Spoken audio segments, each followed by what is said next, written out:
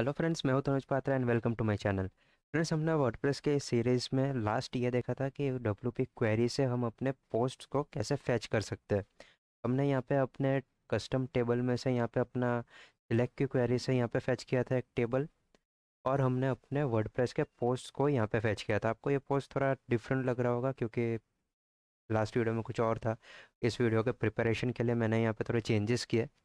मैंने यहाँ पे प्रॉपर्टीज़ ले ली है, उनको कैटेगरीज में डिवाइड कर दिया, जैसे फ्लैट है प्लॉट है बंगलोज है, और उनमें कुछ टैग्स लगा दिए। तो आज हम देखेंगे कि अपने डब्ल्यू पी क्वेरी में हम और कौन कौन से आर्ग्यूमेंट पास कर सकते हैं, जिससे हम अपने टैग्स या कैटेगरी वाइज अपने पोस्ट को फैच कर सकें। तो फ्रेंड्स स्टार्ट करते थोड़ा बेसिक टैग्स है post per page post per page ये टैग क्या करेगा? आपके सॉरी पर पेज पोस्ट नहीं पोस्ट्स आएगा। पोस्ट पर पेज ओके तो इस टैग से आप डिसाइड कर सकते हैं कि आपको पर्टिकुलर एक बार में कितने पोस्ट अपने पेज में शो करने तो मैं यहाँ पे चल कर रिलोड करता हूँ। तो देखिए यहाँ पे दो पोस्ट आ गए। इसको मैं बढ़ा देता हूँ। देखिए यहाँ पे तीन। इसी तरीके से एक और टैग है ऑफसेट आपको कितने पोस्ट में ऑफसेट करवाना है? जैसे कि क्या होता है फ्रेंड्स कि जब हम पेजिनेशन का यूज़ करते हैं तो जैसे ही हम नेक्स्ट पे क्लिक करते हैं तो हमें यह डिसाइड करना होता है कि अब जो हमने पोस्ट दिखाए थे फ़र्स्ट समझ लीजिए फाइव पोस्ट दिखाए थे, उसने नेक्स्ट पेज पे क्लिक किया तो उसको पहले के पाँच पोस्ट के अलावा के दूसरे पाँच दिखाने तो आप इससे ये वैल्यू यहाँ पे पास करके इससे हैंडल कर सकते हैं। तो मैं यहाँ पे रिलोड करूँ तो देखिए, फोर और फाइव निकल गए, यहाँ पे थ्री, टू और वन आ गए यहाँ पे। ठीक है? ये हो गया। दूसरे कुछ और आर्ग्यूमेंट्स है, जैसे कि ऑर्डर। आपको कौन से ऑर्डर में चाहिए अपने पोस्ट्स? तो इसके दो पॉसिबल आर्ग्यूमेंट है, ए एस सी और डी एस सी। तो एक ये देख लेते हैं। यहाँ पे असेंडिंग में हो गई है, ठीक है? तो ये किस हिसाब से अपने असेंडिंग में हो गए ये टाइटल के हिसाब से असेंडिंग में हो गए? अगर आपको चाहिए कि असेंडिंग में आपको आईडी के हिसाब से करना है तो आप कर सकते हैं यहाँ पे ऑर्डर बाई ऑर्डर बाई हम दे देंगे आईडी कॉमा भूल गए थे हम। ऑर्डर बाई हमने आईडी दे दिया। रिलोड करके देखते हैं। देखिए टू थ्री फोर वन क्यों नहीं आया? क्योंकि हमने यहाँ पे ऑफसेट किया है टू का। अगर मैं यहाँ पे ऑफसेट ज़ीरो कर देता हूँ।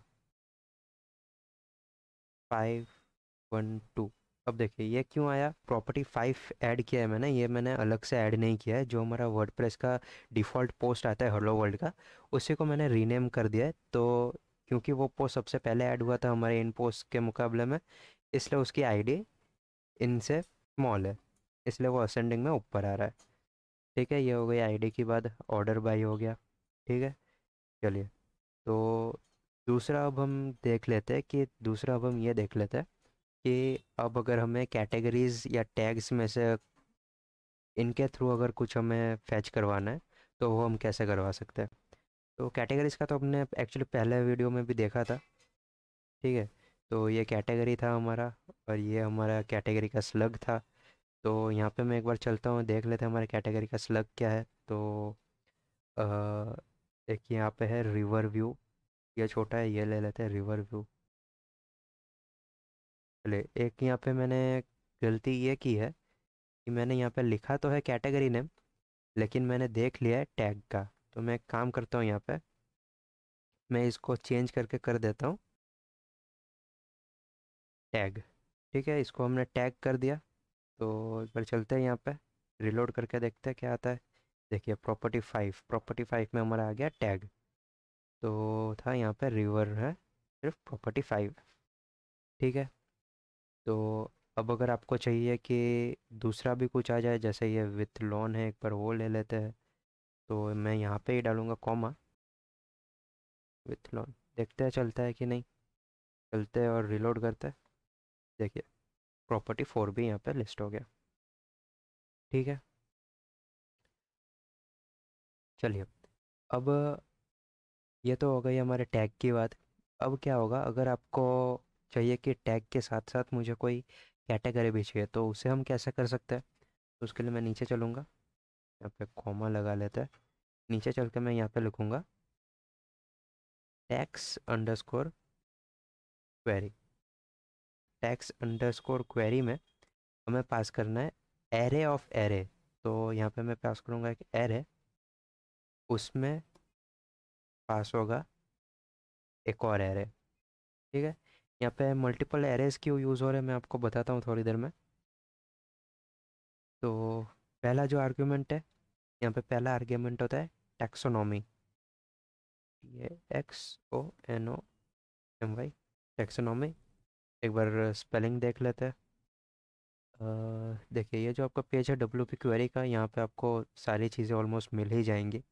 तो आ गया हाँ ये रहा देखिए टैक्स क्वेरी इसमें कौन कौन सी चीज़ें पास हो सकती है, आपको यहाँ पे मिल जाएगा। ये पूरा है। तो यहाँ पे टैक्स क्वेरी है, उसके अंदर पहले रिलेशन पास हो सकता है, पहले आर्गुमेंट और उसके एरे में टेक्सोनॉमी पास होगा। रिलेशन क्या है वो मैं आपको बताता हूँ। एक एक करके इन सारे प्रॉपर्टीज़ की बात करते हैं हम।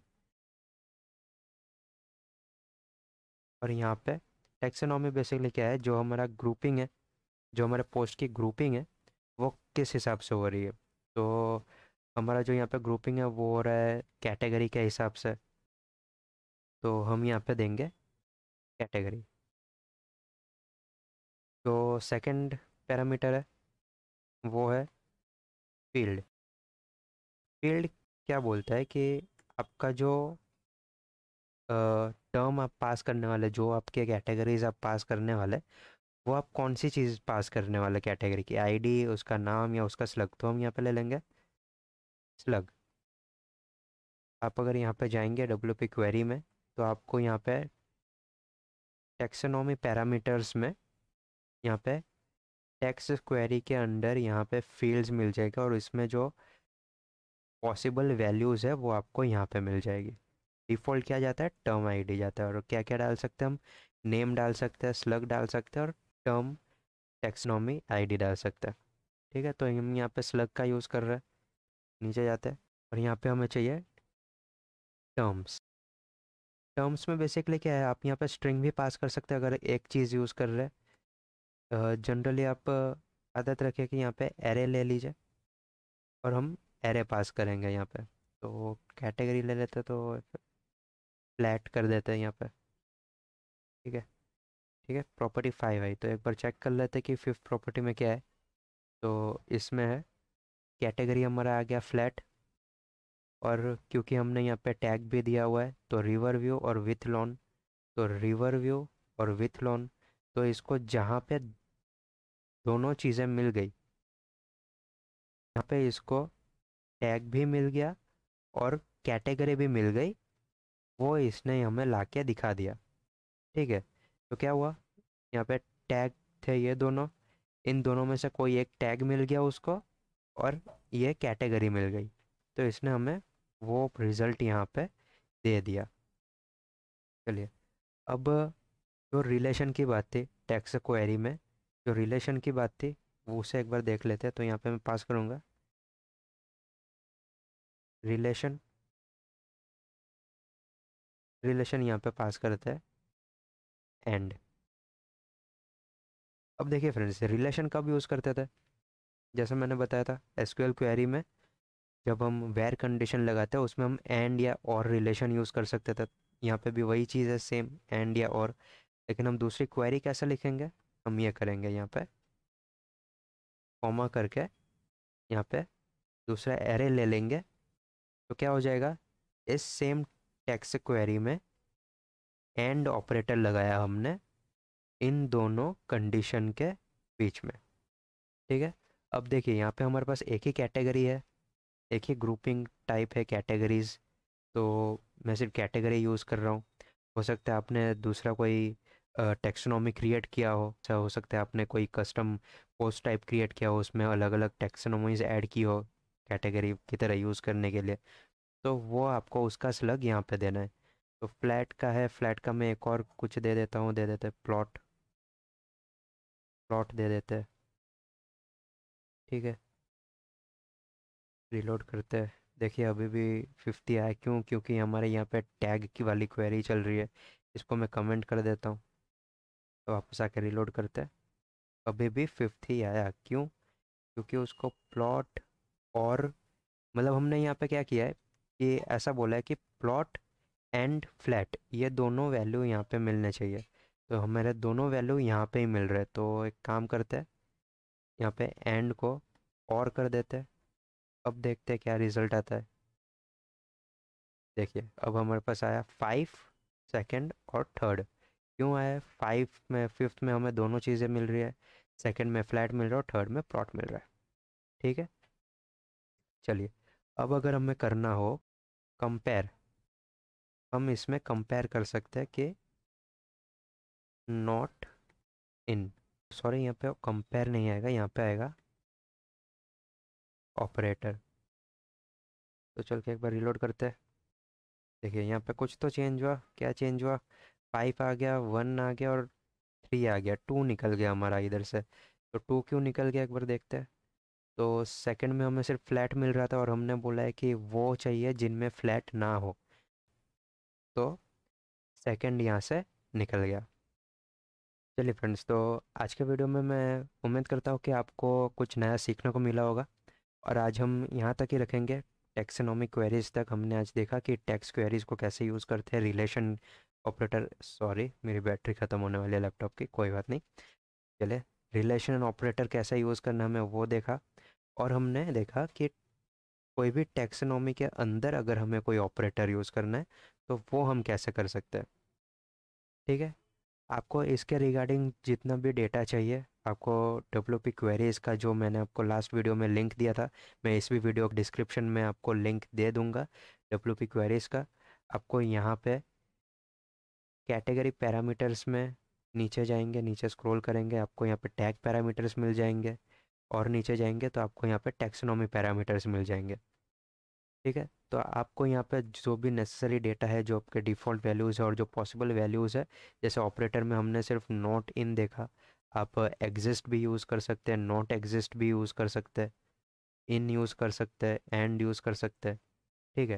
ये सारे जो भी आपके डिफ़ॉल्ट सॉरी जो भी आपके पॉसिबल वैल्यूज़ है, वो सब आपको यहाँ पे मिल जाएगा। चलिए फ्रेंड्स तो thank you for watching this video अगर आपको वीडियो अच्छा लगा हो तो लाइक कीजिए सब्सक्राइब कीजिए और अपने फ्रेंड्स के साथ ज़रूर शेयर कीजिएगा। और आपको अगर कोई भी क्वेश्चन हो इस टॉपिक के रिलेटेड या फिर कोई भी प्रीवियस टॉपिक के रिलेटेड अगर आपको अपने किसी प्रोजेक्ट में कोई प्रॉब्लम आ रही हो तो प्लीज़ मुझे नीचे कमेंट बॉक्स में ज़रूर पूछिए। मैं आप पूरी कोशिश करूँगा कि आपकी मैं हेल्प कर सकूँ। ठीक है? चलिए friends thank you and take care